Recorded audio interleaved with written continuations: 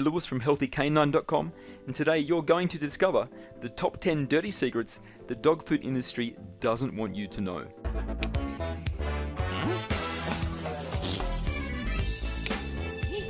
Yep, yep, yep, yep.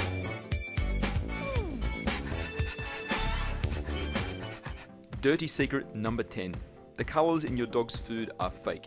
They colour the food for your benefit only. Your dog doesn't care if it's red, blue, or pink. But the problem is, these colours have been linked with cancers, allergies, kidney damage, and behaviour problems. Some of them have already been banned from human foods, but they're still in the food you're feeding your dog.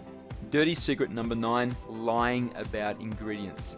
Why? Because if you see it on the ingredient list, you won't buy it. For example, a Scandinavian study of popular UK pet foods found chicken and pig DNA in 14 out of 17 brands. Now, that may not sound like much of a concern, but it's surprising when you discover that none of these 14 listed either chicken nor pig in the ingredients. How? Well, they use misleading terms and they create new names for ingredients by mixing them together and renaming them. But what if your dog is allergic to an unlisted or deliberately misleading ingredient? Chicken allergy is a real condition.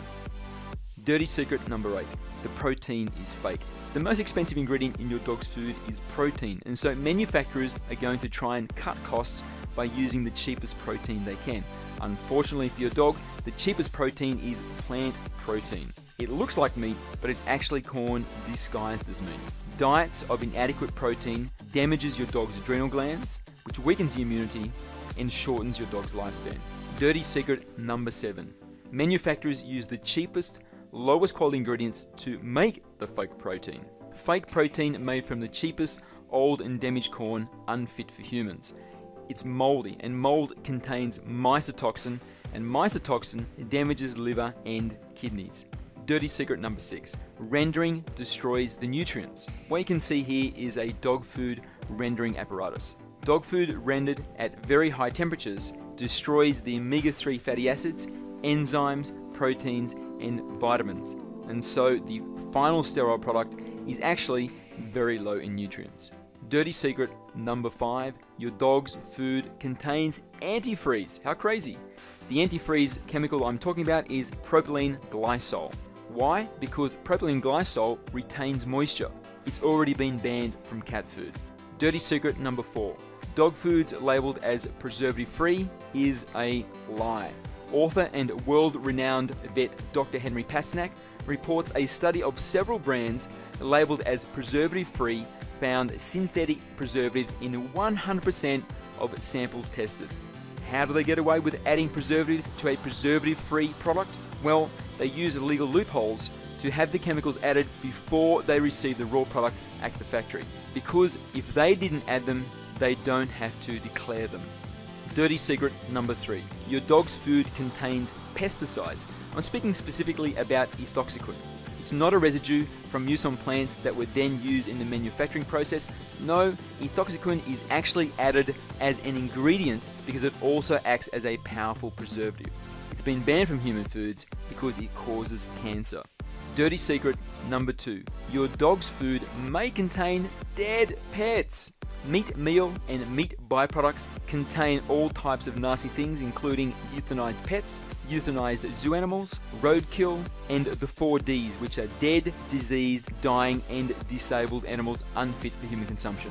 The entire gunky mess is processed into a brown powder, and that brown powder is 25% animal crap. Ah!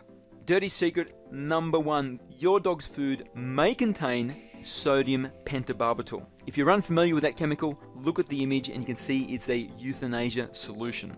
It's the chemical used to euthanize pets and zoo animals. Many dog food companies claim they don't use euthanized animals anymore. Not because they care about you and your dog, but instead because they got caught. Sodium pentobarbital is not broken down in the rendering process. After rendering, it still exists in active form in the final product your dog is eating.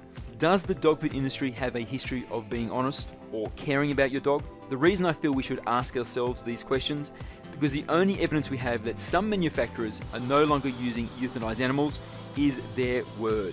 But the answer to these questions is absolutely not. In fact, the opposite is true. These are the reasons why I'm still suspicious. Protein from euthanized animals is super cheap and it's abundant. Cost cutting is standard practice in this industry. It's still legal to use euthanized animals, and historically, it's common practice. When profit and satisfying your shareholders is your bottom line, these are very difficult habits to break. So, do you think they could possibly still be using it? Well, an FDA investigation still found sodium pentobarbital in two thirds of randomly selected dog foods. That's the evidence right there. Thank you very much for watching, and I hope you've learned some valuable information about the food you may be feeding your dog. Thanks very much.